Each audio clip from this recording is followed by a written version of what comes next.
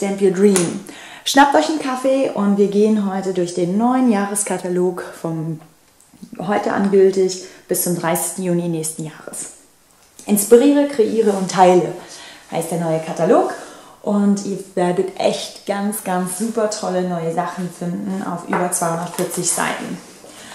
Ja, aufgebaut ist der wie die letzten kleinen Kataloge, also immer so ein paar Bilder und ähm, dann äh, praktisch auch die Stempelsets und ähnliches. Was ich ganz gut finde, ist hier das ähm, Übersichtsverzeichnis, so zu welchen Themen ihr was finden könnt. Ähm, das ist ganz nett dargestellt. So, und ihr habt ja eben schon ein paar Bilder gesehen von den neuen, paar neuen Stempelsets.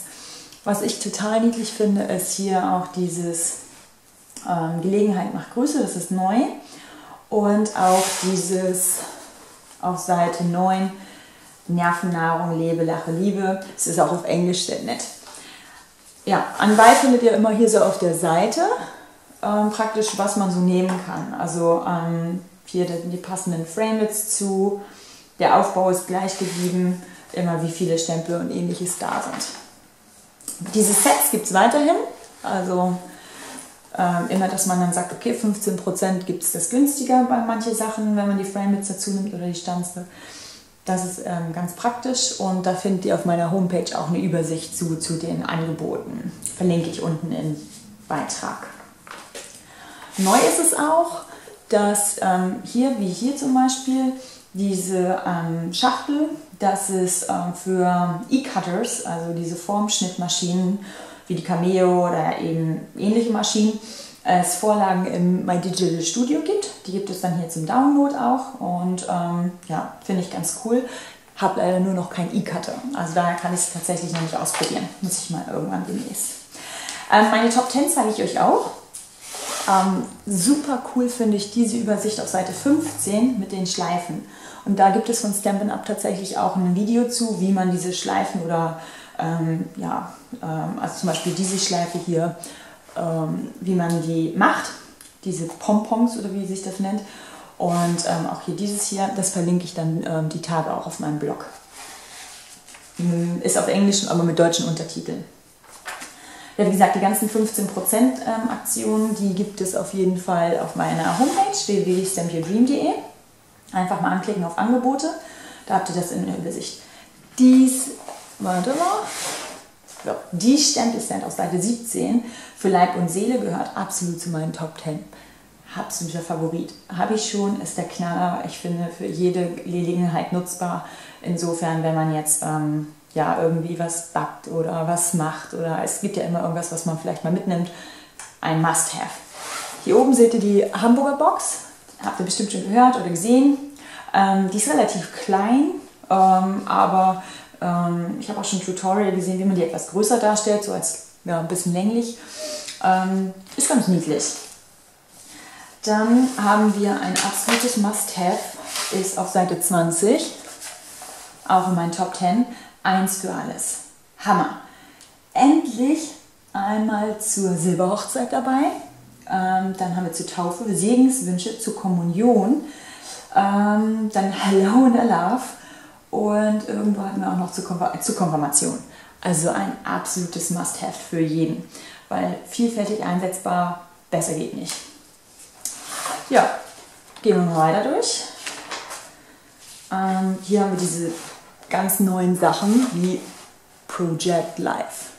Project Life bei Stammin' Up. Also wer es noch nicht gehört hat, Becky Higgins ähm, hat sich zusammengetan. Das hier unten ist Becky Higgins, Seite 24. Da ähm, mit Stampin' Up und ähm, das ist ein Scrapbook-System für denjenigen, der ähm, ja, schnell mal eben ein paar Bilder irgendwo hübsch zusammensortieren will, sage ich mal. Hammer. Absoluter Fan, must have, sprich meine Top 10, äh, werdet ihr viel von mir sehen und ähm, absolut genial. Hier seht ihr dann irgendwie immer die Übersicht, was man noch so haben kann dazu. Relativ viel. Ja. Dann gibt es spezielle ähm, Stempelsets zu dem Project Live. Und ganz neu ist eben auch die Klarsicht-Variante. Das heißt, in dieser Klarsicht-Variante habt ihr ähm, Die sehen dann so aus. Habt ihr bestimmt schon irgendwo, so sehen die aus, bestimmt schon irgendwo gesehen. Ähm, ja, werde ich euch dann auch demnächst mal zeigen. Gibt es gewisse Vorteile, ähm, indem ihr dann das Two-Step-Stamping auch besser nutzen könnt. Ja, was findet ihr in dem neuen Katalog? Ihr findet unheimlich viel Alphabete, also in jeglicher Form, jeglicher Größe, jeglichem Design.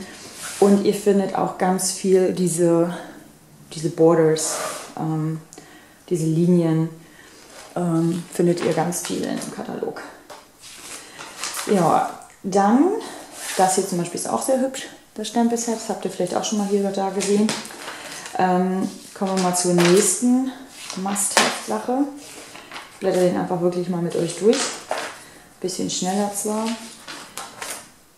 Aber ja, es ist also auch ganz tolle Bastelideen wieder dabei. Das Stempelset hier zum Beispiel. Und dann dazu hier diese Ideen. Also es ist echt richtig cool. So. Ich blätter jetzt nicht jede einzelne Seite mit euch durch. Aber hier zum Beispiel noch ganz toll zum Thema Hochzeit dann auch. Ähm, mit My Digital Studio kann man dann halt sich auch Einladungskarten und ähnliches runterladen. Ähm, das seht ihr auf Seite 61 ganz toll. Ähm, ja, wer noch nicht mit My Digital Studio arbeitet, das kann man natürlich echt super gut als Ergänzung für die Gestaltung von Innenkarten oder sowas auch nutzen diese Accessory-Sachen, also was man so an Zubehör hat, das findet ihr auch immer noch mal hinten, aber ist immer auch hier unter den jeweiligen Projekten halt ähm, drin. So, ich sagte, ich gehe nicht jede Seite mit euch durch. So. Aber, nicht jede Seite, aber Seite 68, Must Have. Einer meiner Top 10. Großes Glück. Finde ich bald in Englisch noch ein bisschen besser. Ich bin mir noch nicht ganz sicher. Das habe ich auch noch nicht bestellt, aber ich finde es total super. Ähm, und einer meiner Top 10. Karten gesehen vielleicht. Ähm, eben in meinem Vorspann auch schon ein, zwei Sachen. Ähm, das Set ist der Knaller. 15% gespart, die Framelits dazu, ein Stempelset mit ähm, 12 Stempeln, viel einsetzbar durch dieses, ähm, durch den Schlips vielleicht auch mal nicht unbedingt für Kinder. Ähm, kann man auch hier diese Ente oder so, kann man auch für den ersten Geburtstag nehmen. Ähm, absolutes Must-Have, Top 10.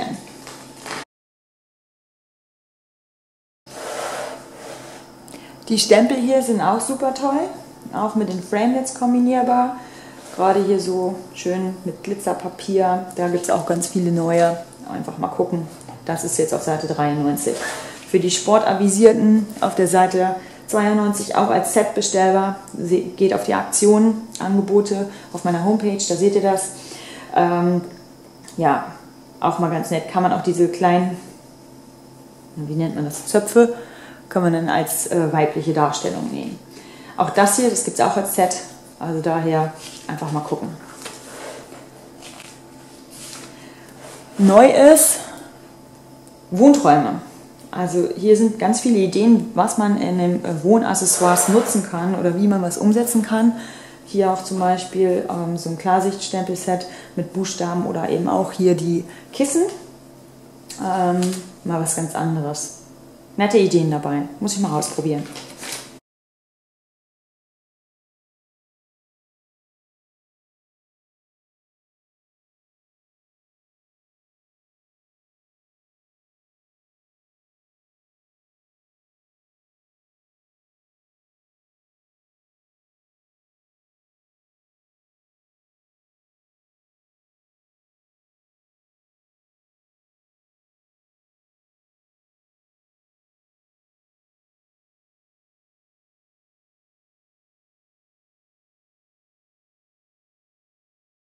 So, hier sind wir so ähm, auf Seite 122 bei den ähm, Trust God, das ist ja ein altes Stempelset. Ähm, aber auf Seite 123 finden wir jetzt auch, und ich finde, das ist natürlich auch schön nett für Konfirmation, Kommunion, Segenswünsche, ähm, Hochzeiten, was auch immer, Ähm, eins mit ganz tollen Kreuzen. Also ähm, ich sag mal, das hier mit den Blumen ein bisschen Flower Power mäßig. Ähm, aber das ist definitiv ein Stempelset, was ähm, unter meine Top 10 kommt. Ähm, gesegnet heißt das Ganze. Gibt es in Transparent halt in Deutsch, in Englisch und Französisch natürlich, ähm, in Englisch auch in Holz. Aber Must Have gehört zu meinen Top 10. Hammer. Seite 134 haben wir ja auch schon nochmal so ein Sparset mit dem ähm, Findelsform Bienenstock und dazu diese süßen kleinen 15 Stempel. Ähm, ja, Hammer. Also kann man einfach nur super kombinieren mit ganz vielen Sachen. Ich und du, wow, lecker, lecker für dich. Also must have, Top 10.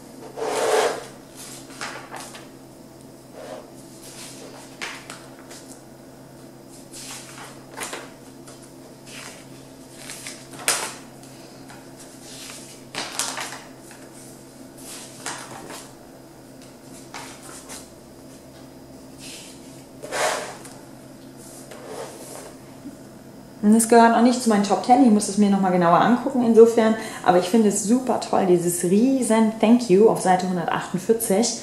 Ähm, also diesen Stempel alleine finde ich total klasse.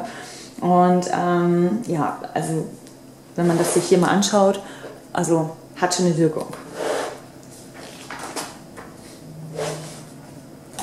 In Deutsch kann man natürlich auch hier dieses 1000 Dank nehmen. Das ist aus dem, also übernommen auch aus dem alten Katalog schon drin gewesen, auf Seite 150.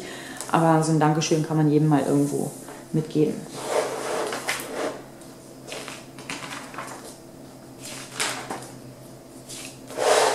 Hier kommen wir zu einem 15% Set ähm, Framelits und äh, Stempelset und da ist auch ein Video ähm, direkt von Stampin' Up drin, ähm, wie man dieses Two-Step Stamping mit diesen Klarsichtstempeln besser nutzen kann. Das werde ich auch demnächst mal verlinken. Und ähm, eines der, ähm, sag ich mal, wenn man auf Blumen steht, Must-Haves. Neue Blumen, Beautiful Bunch, gibt es auch auf Seite 158. Finde ich total hübsch. Ähm, ich bin ja so ein Blumenfan. Und ähm, gibt es auch eine neue Punch für.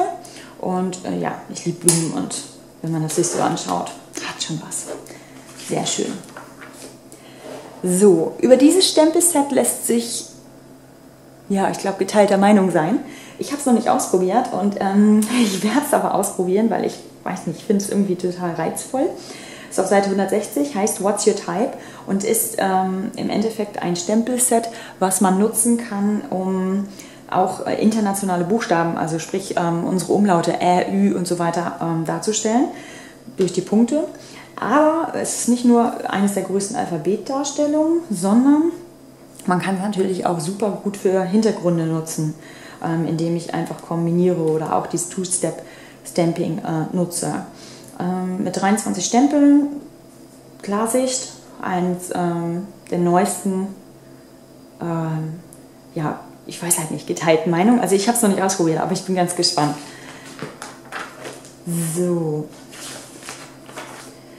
und das ein Must-Have meiner Top 10, dies hier, Work of Art, habe ich, ist der Knaller. Also ich liebe es. Es ist der absolute Wahnsinn. Man kann so viel mit kombinieren. Ähm, das werdet ihr ganz, ganz, ganz, ganz, ganz viel sehen. Also, ähm, also Hammer. Fehlen mir die Worte, ist echt total Knaller. Und wenn man schon Gorgeous Grunge hat, ist übrigens auch seit 165 beides, ähm, die Kombination einfach unglaublich. So, was ganz neu ist, sind ja diese Stampin' Up Mix, ähm, wie heißen die Stampin' Up Mix Marker, Blendables. Ähm, hier ist das auch ganz gut erklärt, wie man das ähm, macht. Werde ich auch mal ein Tutorial drüber machen. Und ähm, gibt es auch schon ganz viele bei YouTube. Äh, ich habe noch eine Idee, wie ich es eventuell anders nutzen könnte, aber ich finde, es ähm, ist halt einfach echt vielfältig einsetzbar. Ja dafür haben wir dann auch recht viel, hier auf Seite 167 startend, ähm, die man, Sachen, die man ausmalen kann. Ich liebe diese Blume, die muss ich auf jeden Fall haben. Ab heute kann man bestellen, ja, yeah! ja, hier kommen jetzt die ganzen Sachen, die man so kolorieren kann und für mich ein weiteres Must-Have. Unglaublich, ich liebe diesen Peacock. Also diesen, diesen V, der ist, ist oh, Hammer. Den muss ich unbedingt haben. So, alles zum Kolorieren. So, und dann kommen wir hier zu den Hintergrundstempeln. Mein absolutes Must-Have ist der Corner Garden Hintergrundstempel. Finde ich total toll und lässt sich bestimmt super kombinieren. Werdet ihr bestimmt auch sehen demnächst. So, und dann kommen wir auch schon zu den Farben und damit zu den neuen In-Colors. Die neuen In-Colors haben wir hier in der Übersicht. Die, ähm, ich kann sie mir nur auf Englisch merken, warte mal äh, Brombeermus, Honiggelb, Lagunenblau, Waldmus und Orangentraum. Und ähm, besonders angetan hat es mir von den äh, Waldmus, Lagunenblau und das Brombeermus, die drei Farben in Kombination. Ah, das ist ah, toll. Habt ihr in den Karten vorne auch schon gesehen. Ja, die Farben, da hat sich sonst nichts weiter geändert, außer dass der Preis bei den In-Colors falsch ist. Also ihr könnt das ZIP Ihr könnt das Set hier auf Seite 179 nicht für 61,95, sondern für 36,95 ähm, erwerben. Ne, dann habt ihr einmal das A4-Paket mit 20 Bögen und einmal die ähm, fünf Farben. Das ist falsch ausgezeichnet hier. So, und das Designerpapier. Das Designerpapier ist so hübsch. Also ähm, auch wieder die Blöcke diesmal direkt im Hauptkatalog mit drin. Und das sind schon schöne Farben.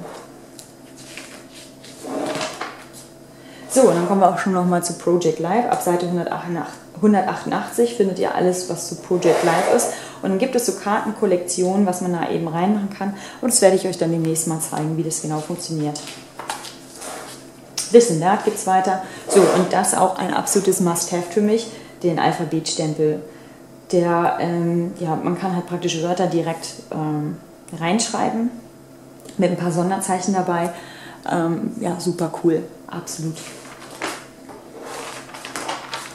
Dann gibt es den sandfarbenen Karton neu hier auf Seite 192. Ich glaube, der ist recht vielfältig. Den werde ich mir auch mal genauer angucken. Neues Glitzerpapier, neue Umschläge hier auf Seite 194. Das Punchboard jetzt endlich hier drin. So, und das finde ich auch total den Knaller auf Seite 196. Kartensets für Anfänger oder halt auch für, für jemanden, wo es mal schnell gehen soll. Genauso wie auf Seite 197 einfach so ein Set. Das ist schon schön. Und ja, yeah, es gibt neue, ähm, neue Keksstempel. Ich mag ja total gerne backen auch und ähm, ich mag diese Keksstempel Hammer. Die sind nicht so wie vielleicht manch anderer, den es auch gibt am Markt. Ähm, die sind einfach echt klasse und backen nicht rum. Daher freue ich mich total auf die neuen Keksstempel. Yeah! Dieses Set gab es letztes Jahr schon, in, ich glaube in einem Occasion Catalog. Und ähm, das finde ich total witzig mit dem das kann man, das ist mit Kreide bemalbar, ist auch ein Stück Kreide dabei in dem Set. Und ja, natürlich jedes Mal irgendwie wieder neu machbar und ähm, man hat ein, eine Kette und kann die frei variieren. Must have. Genauso wie hier auf Seite 205 diese Schablonen mit den Herzen und den Sternchen, total viel ähm, einsetzbar. Von dem äh, Flinkfix Spezialklebeband Fast Fuse heißt es im Englischen, ähm, auf Seite 204. Habt ihr vielleicht auch schon gehört. Habe ich noch nicht ausprobiert.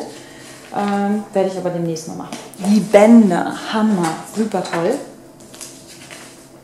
Hm. Und dann kommen wir hier auch schon zu den Blendables nochmal auf Seite 212 und Embossing Powder und dann die Werkzeuge. Da hat sich nicht viel geändert. Die Stanzen, da ist eine Stanze noch, die ich euch noch zeigen möchte. Und zwar hier auf Seite 222, die kleinen Herzen, total süß. Und da gibt es ja auch diese Flower Punch, wie gesagt, neu. Und bei der Big Shot ganz viele neue Sachen auch dabei. Unter anderem mein Must-Have, Seite 228, das ähm, beeindruckende Buchstaben. Das muss ich unbedingt haben, weil ich damit dann auch Buchstaben in einen Text machen kann. So, und hier haben wir die ganzen Framelits, den Schnurrbart, finde ich ganz witzig. Nicht so ganz meins, aber vielleicht für einen anderen. So, und dann haben wir hier einmal diese Blumen, Wix Blumen allerlei. Das ist komplett neu und ähm, alles gut kombinierbar. Und auch diese Partyfähnchen finde ich ganz niedlich. Und hier haben wir auf der Seite, Seite 233, ähm, die Hamburgerbox und die Frittenbox. Die sind auch beide neu. Auch total witzig irgendwie. Ja, das war es dann auch schon. Die kommen zu gutem Letzt noch zu den Gastgeberinnen-Sets. Ähm, und die liebe ich. Also vor allem dies hier hat es mir angetan. Dieses hier. Dieses Hello Love auf Seite 239. Das finde ich super süß. Und auch das auf Seite 240. Das heißt, wenn ihr eine Party ausrichtet oder wenn ihr eine Bestellung ab 200 Euro bei mir aufgebt, habt ihr die Möglichkeit, euch diese Sets mit zu bestellen. Und den Katalog könnt ihr bei mir für 5,95 Euro inklusive Porto erwerben. Ich hoffe, ihr habt genauso viel Spaß wie ich und wünsche euch einen schönen Tag. Vielen Dank fürs Zuschauen. Tschüss!